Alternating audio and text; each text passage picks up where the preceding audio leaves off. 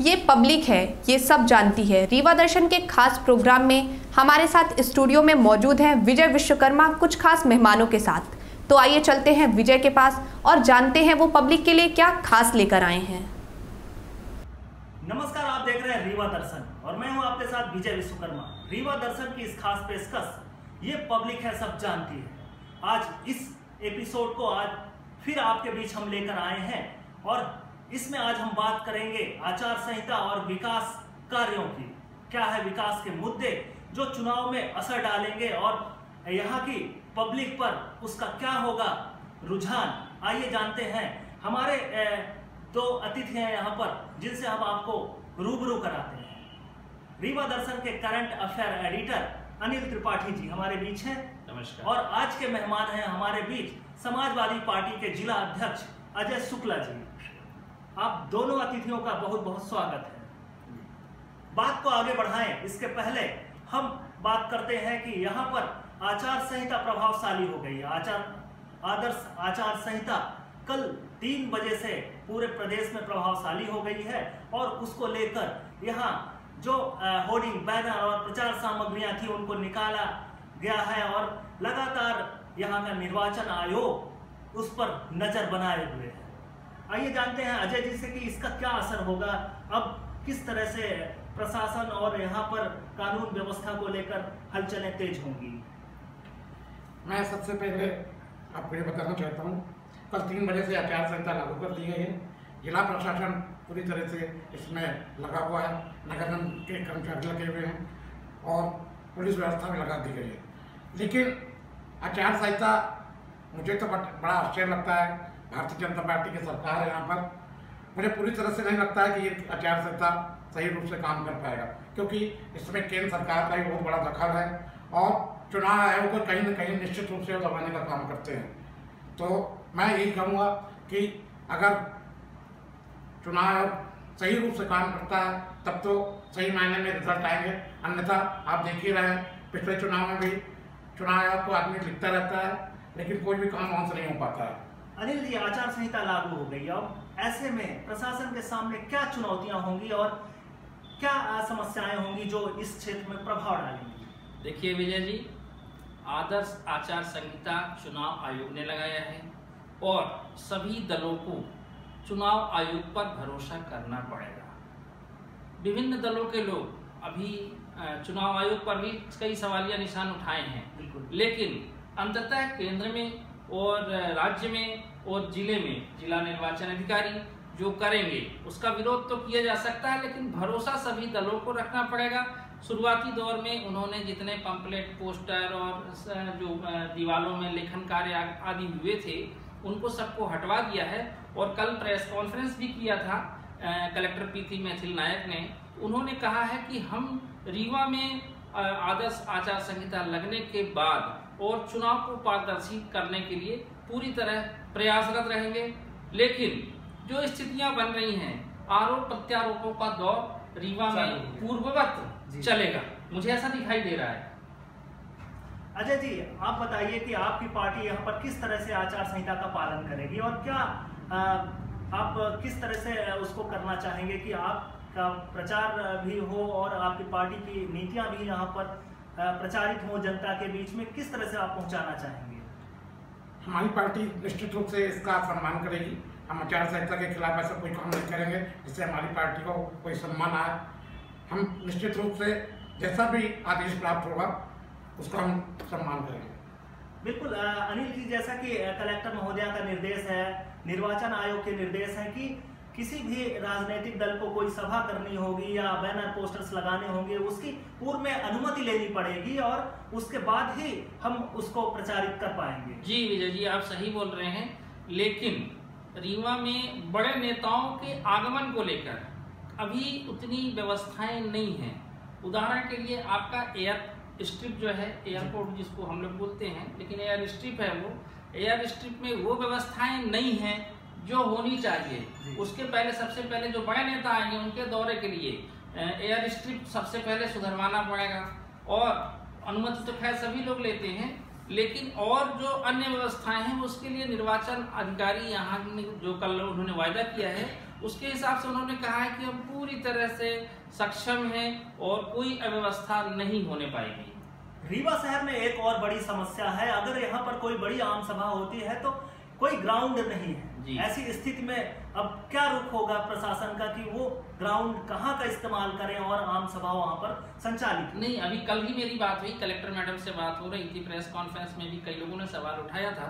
उन्होंने बताया कि रीवा में जो राजनीतिक दलों के बड़े कार्यक्रम होंगे उनको पहले से अनुमति लेनी होगी और उसके लिए एक स्थल चयनित किया गया है एसएफ ग्राउंड एसएफ ग्राउंड में ही बड़े नेताओं की सभा होगी रीवा में और कहीं कोई जगह बची नहीं है।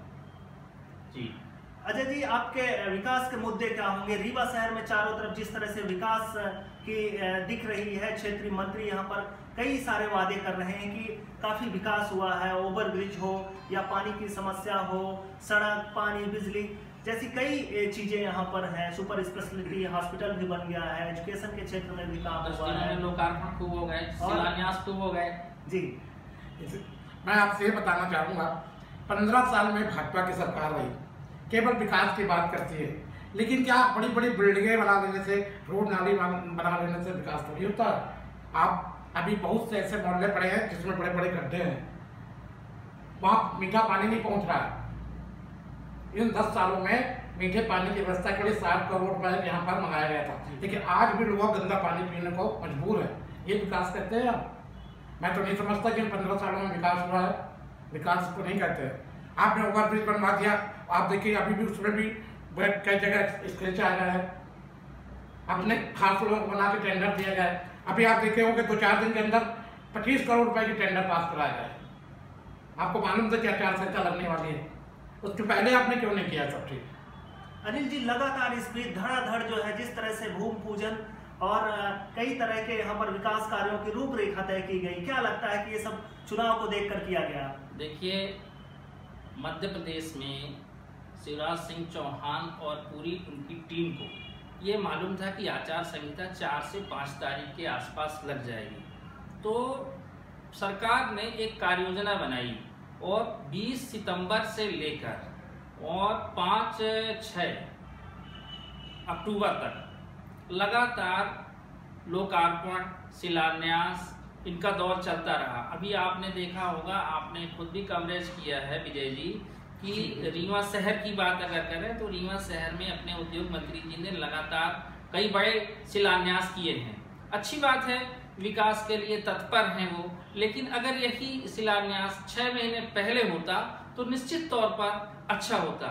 ये तो ऐसा लगने लगा है जैसे लोगों को लुभाने के लिए, आकर्षित करने के लिए, और अपना वोट बैंक बनाने के लिए भारतीय जनता पार्टी ने हौड़सी लगा दी है। जी, बिल्कुल पचमठा का विकास कार्य हो उसकी रूपरेखा तय की गई हो या अगर हम चिरहुला मंदिर की बात करें तो वहाँ भी भूमि पूजन किया गया जो एक काफ़ी नहीं नहीं कार्य योजना तो देखिए निपनिया पुल का निपनिया पुल की बात हो या जो नदी के उसमें स्ट्रीम लाइन वो चलाने की बात हो ये कार्य योजना तो काफ़ी पहले बन चुकी थी। अगर चार महीने पहले हो जाता तो सब इसका असर और ज़्यादा और ज़्यादा होता कि सबका साथ सबका विकास हो रहा है। लेकिन ये तत्कालिक रूप से जो लोकार्पण शिलान्यास का दौर चला तो लोगों को ये ज़रूर लगा कि कहीं ना कहीं इसमें है कुछ और ये हमें आकर्षित कर रहे हैं। अजय जी आपके माने में विकास क्या है? किस तरह से विकास होना चाहिए? आप क्या मानते हैं? देखिए विकास में मैं तो ये कहूँगा विकास सबको लेकर किया जाता है अपना। ये तो कहते हैं सबका साथ और अपना विकास हो रहा है। इसलिए मैं कहता हूँ कि विकास होना चाहिए जिससे आम पब्लिक खुश रहे और सभी को काम करने का अवसर मिले। यहाँ थोड़ी इस तरह देखा जाता है कि अगर अपने आदमी को फ़ायदे के लिए नहीं अजय जी मैं बीच में आपको इंटरप्ट करूँगा। ये बताइए पंद्रह साल पहले भी आप रीवा में थे तब भी आपकी राजनीति के बारे में मुझे मालूम है। पंद्रह साल पहले बिजली नहीं रहती थी। पंद्रह साल पहले तो सड़कों की हालत और गंभीर थी।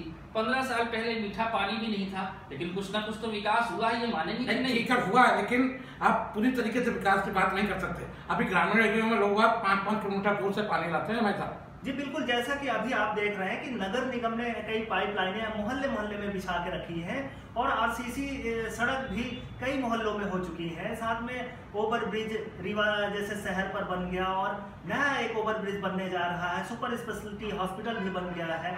एजुकेशन के क्षेत्र में माखन लाल जैसी इंस्टीट्यूट भी यहाँ पर रीवा में आ गए हैं। उनका कैंपस खुल गया है। अभी और क्या विकास की ज़रूरत है यहाँ पर जो होना चाहिए? भाजपा तो केवल अपने सपने दिखाती है। आप देखिए, मोदी जी ने कहा था कि हम दो करोड़ लोगों को नौकरी देंगे। कितने लोगों को नौकरी मिली? शिवराज मामा किसानों को बड़े वो बनते हैं, लेकिन किसानों के साथ इतना बड़ा आपने देखा, मंदसौर में दस पंद्रह लोग वहाँ गोली खा के मर गए थे। हमारे अखिलेश यादव राष्ट्रीय अध्यक्ष जी ने वहाँ पर दो दो लाख रुपए उनको देने का काम किया था। बाद में ये लोग खुद गए जो पैसा लेगा उसको हम, यानी एक भी रुपया नहीं देंगे। उन्होंने भिड़काने का काम किया। आप देखिए यूपी की तरफ़ पर मैं बताना चाहता हूँ, अगर समाजवादी पार्टी को यहाँ पर मौका मिलता है समाजवादी पार्टी उत्तर प्रदेश की तरह यहाँ भी विकास करने का काम करेगी। हमारे अखिलेश जी ने इतना बड़ा आपने देखा होगा कि रोड बनाई पूरे भारत रोड से कभी नहीं बनी थी। लेकिन लोग अब यहाँ कहते हैं विकास के नाम से लोग वोट नहीं किए हैं उनको, क्योंकि इतना ज़्यादा विकास उत्तर प्रदेश में कभी भी नहीं हुआ। क्या लगता है कि अजय जी जिस तरह से कह रहे हैं कि यूपी में विकास हुआ और पब्लिक ने उसको नजरअंदाज कर दिया। मध्य प्रदेश में पंद्रह सालों से जो विकास की गंगा बह रही है, क्या वही वक्त फिर आ गया है जो मध्य प्रदेश में यूपी की तर्ज पर होगा? अजय जी की बात से मैं बिल्कुल एक मुद्दे पे पूरी तरह से सहमत हूँ।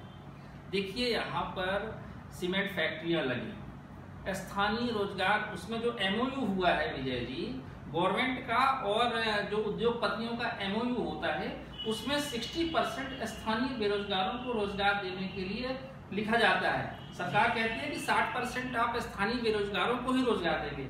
लेकिन इस मुद्दे पर अजय जी की बात सही है। जैसे अभी आपका सोलर प्लांट लग रहा है गोवा में। तो सोलर प्लांट जो स्थितियाँ वहाँ पे बेरोजगारों की है अकेले गुण क्षेत्र या रायपुर कचुलिया तहसील के लोगों को नौकरी के लिए वहाँ पे कहीं की जगह नहीं मिल रही है। सारे लोग बाहर से आ रहे हैं। तो बेरोजगारी की बात तो रीवा का एक तबका। लगातार सूरत बेंगलोर नासिक मुंबई में नौकरी करने जा रहा है। अगर उन करते वहाँ लेबर का काम ही है। अगर लेकिन उनको यही प्लांट में नौकरी मिल जाए तो उतनी दूर बेचारे क्यों जाएँगे? पहली चीज़। और दूसरी चीज़ लगातार दावे हुए हैं बेरोजगारी खत्म करने के लिए। लेकिन मैं एक पत्रकार के नाते ज़रूर ये कहूँगा कि सारे दलों ने बेरोजगारों को ज़रूर छला है अजय जी इतना इसमें कितना सहमत है और आप क्या करेंगे? आपकी पार्टी क्या करेगी? अजय जी आप बताइए बताइए बिल्कुल। नहीं एक निश्चित रूप से अच्छा मुद्दा है क्योंकि आज बेरोजगार चला जा रहा है। पला लोग पलायन कर रहे हैं। मध्य प्रदेश में उनको नहीं मिला लोग मुंबई की तरफ़ भागते हैं कहीं सूरत की तरफ़ भागते हैं। हमारे मध्य प्रदेश में मैं ये पूछना चाहूँगा अब हमारे स्थानीय मंत्री हैं उन्होंने पंद्रह साल में क्या कभी कुछ किसी बड़े उद्योग को लगाने का प्रयास किया है कभी यहाँ पर? केवल एक सोलह प्लांट बचा है उसमें जैसे आपने कहा कि यहाँ पर बाहर के लोग ज़्यादा आ रहे हैं स्थानीय लोग बिल्कुल निश्चित रूप से पलायन करने का काम कर रहे हैं। मैं तो यही चाहूँगा मेरा उनसे निवेदन है कि कोई भी बड़ा उद्योग हमारे विभिन्न क्षेत्र में लगना चाहिए और यहाँ के स्थानीय लोगों को रोज़गार मिलना चाहिए। नहीं तो भाई साहब आपकी भी पार्टी सक्रिय है। रीवा में आप क्या कर रहे हैं इस मुद्दे पर? नहीं निश्चित रूप से अगर हम आपसे यही वादा कर रहे हैं कि अगर हमारे पार्टी को अगर यहाँ पर मिलता है कुछ तो हम निश्चित रूप से बेरोजगारों को यहाँ पर उद्योग लगवाने का काम करके मतलब पहले आपको आप चाह रहे हैं कि पहले यहाँ के लोग आपको ऊपर उठाए तब आप कुछ करेंगे? या इसके पहले हम तो देखिए हमारी पार्टी समाजवादी पार्टी एक विचारधारा है और हम लोग हमेशा विचारधारा इसमें लड़ते रहे। समाजवादी विंध्य क्षेत्र में किसानों को लेकर काफ़ी समस्याएँ हैं किसानों को समय पर खाद बीज नहीं मिल पा रहा, पानी की समस्या है, बिजली की समस्या, और वर्तमान में जो स्थितियाँ हुई, बारिश कम होने के चलते सूखे की स्थिति निर्मित हो गई है, फ़सल कई जगह की चौपट होने की नौबत आ गई है। ऐसे में किसान, क्या किसानों का रुख होगा और वो किसके तरफ़ जाएँगे? क्या लगता है कि किसान की समस्याएँ चुनाव पर असर किस तरह से डालेंगी? देखिए, वर्तमान में विंध्य क्षेत्र का किसान पिछले तीन सालों से सूखे से जूझ रहा है। सरकार वायदे तो कर रही है लेकिन किसानों की स्थितियाँ गाँव में जाके देखिए। इसके बारे में अजय जी को ज़्यादा मालूम होगा क्योंकि ग्रामीण क्षेत्र में इनका आवागमन ज़्यादा रहता है। लेकिन जो हमने देखा है किसानों को खाद की गारंटी गवर्नमेंट ले रही कि हम खाद आपको सहकारी समितियों से उपलब्ध कराएँगे। लेकिन आज देख लीजिए सहकारी समितियों में खाद उपलब्ध नहीं है। दूसरी चीज़ नहरों का पानी। नहरों का पानी कुछ इलाकों में तो मिल रहा है। ये बात सही है। लेकिन अंदर के हिस्सों में बिल्कुल पूरी तरह से सूखा पड़ा हुआ है। सिमरिया में चले जाइए, जमीनें बंजर पड़ी हुई हैं। मऊगंज के निचले हिस्से में चले जाइए, जमीनें बंजर पड़ी हुई हैं। इसके लिए जो है सरकार कर तो रही है, लेकिन जो ग्राउंड में जाना चाहिए, जो पोजीशन होनी चाहिए, किसानों को जो सुविधाएँ मिलनी चाहिए, वो नहीं मिल रही है। और निश्चित तौर पे किसानों में आक्रोश है इस बात को लेकर। और इसका जो सीधा असर है वो भारतीय जनता पार्टी के नेताओं पर ही सीधा उनका आक्षेप लगता है। जी बिल्कुल एक तरफ़ किसानों को गोली तो दूसरी तरफ़ किसानों को मकान मिल रहे हैं। क्या लगता है कि जिस तरह से सरकार की ये मुहिम है किसानों को खुश करने की कितना कारगर साबित होगी? अजय जी। बिल्कुल नहीं। ये किसानों को केवल छड़ने का काम किया जा रहा है। और अवसर निकलते किसान बेचारे बेरोजगार अपना धंधा छोड़ कर किसान खेती छोड़ के दूसरे उद्योग की तरफ़ जाने को मजबूर हो गए मैं तो यही कहूँगा कि किसानों के साथ छड़ावा हो रहा। उनको समय पर बीज नहीं मिल पाता, खाद पानी नहीं मिल पाती है। इससे किसान आज बहुत बन चुके हैं। उन्हें हम अन्नदाता के नाम से जानते थे। तो आज किसानों के साथ निश्चित रूप से बड़ा अत्याचार हो रहा है। हम तो यही सबसे कहना चाहेंगे कि किसानों को जो हमारे लिए अन्नदाता का काम करता था, उसको सबसे ज़्यादा आगे बढ़ाने का काम करना चाहिए। लेकिन अजय जी मोदी जी ने एक योजना तो अच्छी चलाई उसकी तारीफ़ भी करिए प्रधानमंत्री आवास योजना के नाम पर लगभग रीवा ज़िले के लगभग तीन हज़ार तीन हज़ार से चार हज़ार लोगों को घर मिल गए। आप क्या कहेंगे इस बारे में? उनकी तारीफ़ करना चाहिए कि नहीं? नहीं कुछ मामलों में उन्होंने किया है ऐसा नहीं है। लेकिन अभी भी सबको नहीं मिला हुआ है। और जो पाने के हकदार उन्हें भी नहीं मिला गया है। इसमें भी कुछ ना कुछ तो मतलब आपका कहना है कि पात्रों को नहीं मिला पात्रों को मिला पात्रों को मिला इसलिए दोषी किसको मानेंगे आप? सरकार को? सरकार को दोषी मानेंगे पूरी तरह से। बिल्कुल। भाई उन्हीं कर्मचारी तो सब कराते हैं। ऐसा। तो कुल मिलाकर प्रधानमंत्री आवास योजना सफल नहीं हो पा रही है रीवा ज़िले में? बिल्कुल नहीं। प्रधानमंत्री आवास योजना रीवा ज़िले में नहीं पूरे भारत की बात कर रहा हूँ मैं क्योंकि तो सभी ज़िले में हर स्टेटों के लिए है। बिल्कुल जिस तरह से आचार संहिता प्रभावशाली हो चुकी है अब नेता उन्हीं किसानों के पास जाएँगे जो किसान परेशान हैं जिनके पास खाद बीज की समस्या है और उनकी बिजली की समस्या है, जिसको लेकर कई किसानों ने अपनी आत्महत्याएँ कर ली हैं और अब ऐसे में मतदाताओं को लुभाने के लिए वही नेता जो वर्षों तक उनसे दूर रहे, अब उनकी चौकट में जा रहे हैं। इस चर्चा को यहीं पर विराम देते हैं। अगली चर्चा के लिए नए मुद्दे के साथ फिर आपके बीच हाजिर होंगे। तब तक के लिए नमस्कार। नमस्कार।